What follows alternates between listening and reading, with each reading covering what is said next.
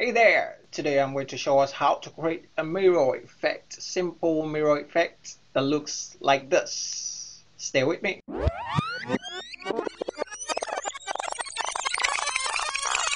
Alright, uh, we're back to CorelDRAW and I've created some illustrations here. I've um, created a simple jar with flowers, uh, with leaves actually, not flowers. Uh, I duplicated it and that's this too and I created a, a simple typography which is this graphics and I tweaked it a little bit here to show something different okay? Actually these four objects the text and the jar leaves are showing different types of uh, mirroring okay? This one is a part mirroring and this one is a full mirroring all right? You can actually use anyone you like depending on what you are creating or what you want to depict. Okay? So now I'm going to show us how I created this both the background and every other thing here is very simple okay? But I'm not going to show how to how I created uh, this jar of flour in this video. I can do it in another video. If you like that please leave me a comment below so that I know and do that in, in earnest all right so let's get to it and start doing this mirror effect. Now I'm going to delete everything that is here except the flash and the graphics okay? Uh, the typography and the jar flower I'm going to leave it there. I'm going to delete the background. I'm going to delete this one also. So let's do that. Now click on delete click on delete.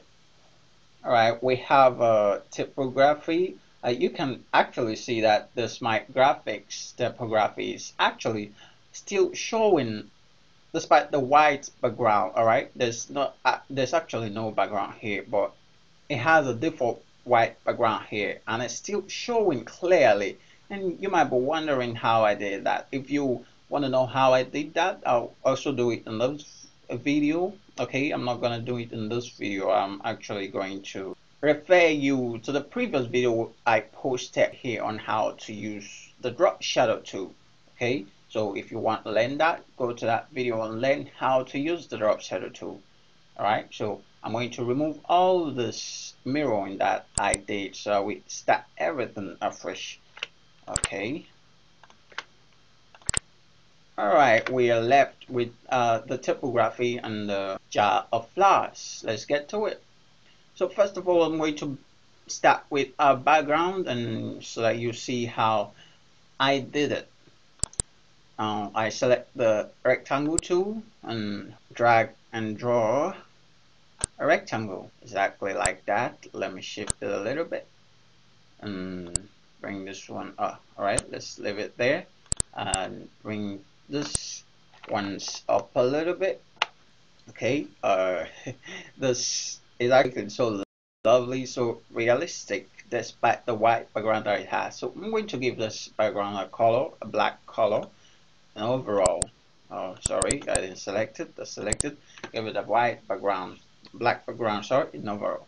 Now I'm going to move the background to the back of a page. And how do I do that? I hold control and I can press page down. When I once I press page down it keeps going back uh, to the amount of times I press it. But if I want to move it automatically to the back I hold on control and press end on my keyboard.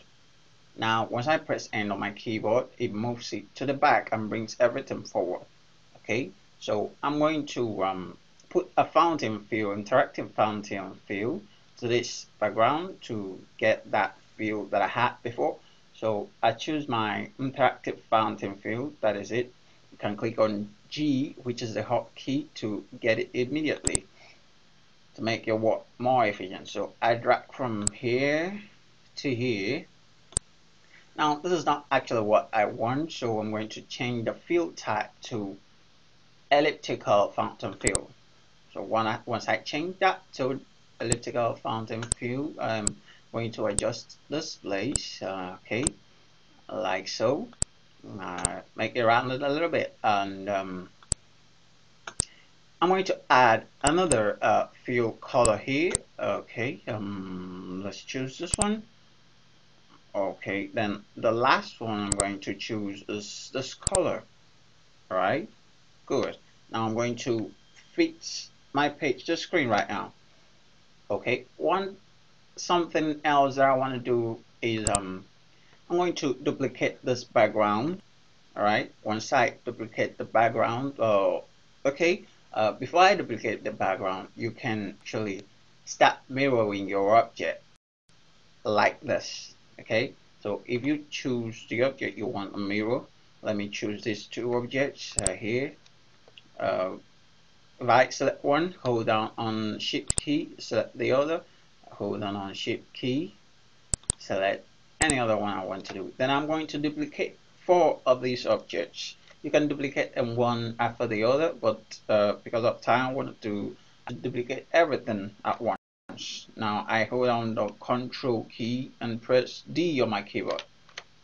It duplicates it. Now I'm going to flip it to the other side that's mirroring to the vertical and this is the key for that alright so once I press on this icon here it mirrors it to the vertical okay flips it upside down.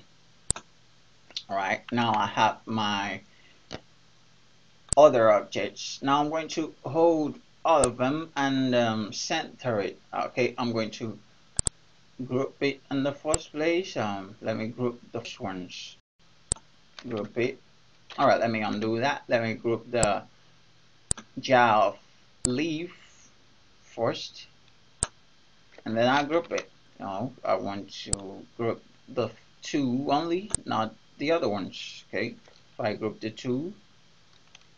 Group it then I group press my F3 to move back a bit then group the next one okay? Then select the four objects and press C on my keyboard. Let me fit your screen again so that you see what I'm doing when I press C on my keyboard it centers both of them aligns them together. Then I'm going to shift in a bit uh, so that it's a search okay now I'm going to um, create a new rectangle okay? From here I need to create a new rectangle fit it here and uh, raise it. Okay let me zoom it here so that I there. So that is where I want it to be. I'm going to remove the outline then give it a color. I'm going to give it this reddish color. Alright now if I do what I want to do right now you start seeing the mirror effect okay on this objects right now. But first of all let's do this. I'm going to delete this because I wanted to show you uh, that you can do the mirror effect without even putting that background that I, the extra background I added here. So if I click on this um, I'm going to ungroup it by control U. When I do control U so I'm going to select one. Now I select one. Then I can click on my transparency tool and reduce the transparency okay? Once I reduce it this is uh, one of the ways you can do uh, full mirroring okay now you can see some flaws here. I'm actually seeing the extra leaf that that are inside this jar which I don't want to see but I'm going to show you how to edit that so that you don't see it. I'm going to show you later when I add the other background. So you can do a full or you can do a half mirroring which is a search oh sorry I don't select this because that's the one I want to affect.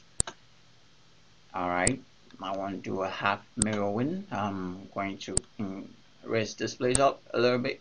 Mm, as such. Okay now I did a half mirror win and I did a full mirror win here. Okay I think you get that okay? So I leave it on at 70 I'm going to do the same thing here. Choose back my tool with the spacebar key. I'm going to do the same thing with this one. Sorry I have to choose it first. Zoom in here a little bit.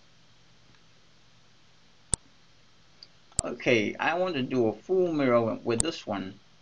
So I I don't want I didn't want to select that. Move it up a little bit like such and uh, toggle with this handle right here. Okay um, okay. Okay now I did a full mirror with this one. I'm going to do select this and do a half mirror with it uh, search zoom in a little bit so that um, I do uh, an equal selection okay? Um, it's not that equal but I think that will go. Reduce the opacity as such and okay uh, you understand what I'm doing here. You have to have patience so you get what you want all right okay um let me bring it down a little bit like such okay we have our mirroring all set. Okay now um, the effect I did I made it look as if it's sitting on something like a table or something else okay? So that's why I added the other background so it looks that way. So I'm going to add it right now. Alright zoom in uh, so that I place it on the center okay I remove the outline. Now I'm going to add the what's it called? The reddish background to it. Now it's covering it okay? Now I'm going to reduce the opacity again with the fountain oh sorry with the transparency tool. I'm going to make it um let's see um 70 um that might be too much but it depends on your specification you can do a 60 or to your test anything you want to do to your test you can do it. Now it's already showing the effect here okay the mirroring effect but I wanted to uh, want this background to be behind this mirroring all right so that they uh, stay in the front. So I'm going to take this background back. By hitting change to my page 2 then hold on on control do my page down. I don't want it to go to the back of every other thing so I use my page down. Click it until alright that is it. No much differences but uh, that is where we want it to be. So if I choose I can choose whatever I want it. Now I'm going to reduce this uh, the more as such alright uh, that is it. So I told you uh, I was gonna show you how to uh, why is it doing that thing? Okay I told you I was going to show you how to edit this so that this sleeve won't be sticking out like it's uh, as I did the transparency sticking out and you're seeing the leaf you should you're not supposed to see. So what do we do right now what we actually have to do is go back to my pick tool hitting spacebar you should always remember that. I choose the whole jar and flower. Actually it's grouped right now so what I want to affect it won't happen so I'm going to ungroup it with control U. When I do that now what I want to do is simplify this so that it trims out that extra layer extra places that are sticking into this jar. So what I do is go to simplify and click on simplify. Now I have a perfect mirroring of this object right here okay? Oh so now you can see I tweaked this uh, graphic a little bit. Uh, it's actually the same typography but I just did some little thing to it. And uh, well I can still show you as a bonus how I did it Alright, let me do it in this video.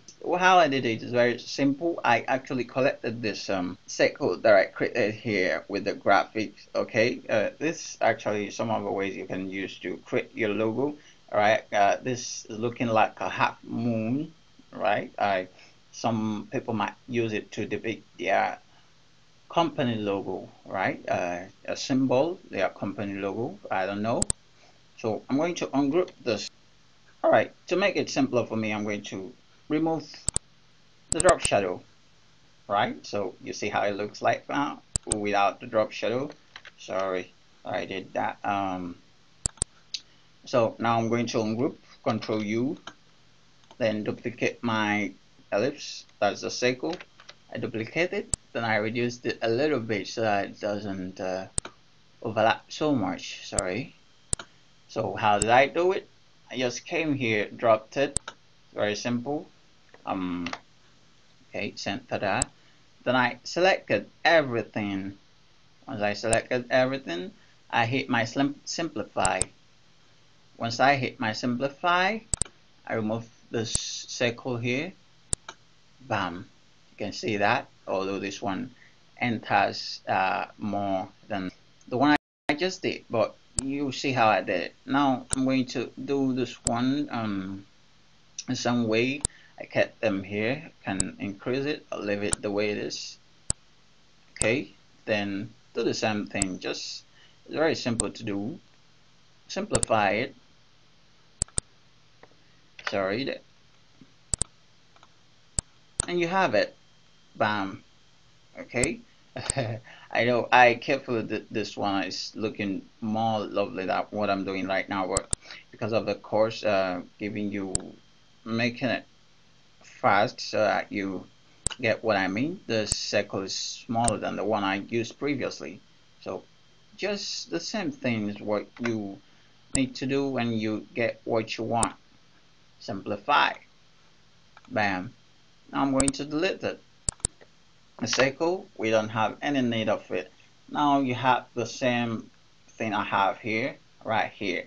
Now I'll make it more realistic. No you go watch how to use the drop shadow tool and come and try this thing out you know. It's looking so lovely and I, I love the way it's bringing it out okay? So go watch how to use the drop shadow tool in the previous video. Alright if you like this video and it really helped you out don't forget to give us a thumbs up subscribe to our channel and don't forget to hit the bell notification button for subsequent videos that will be posting your way and giving you cool stuffs and cool things to design with. See you in the next video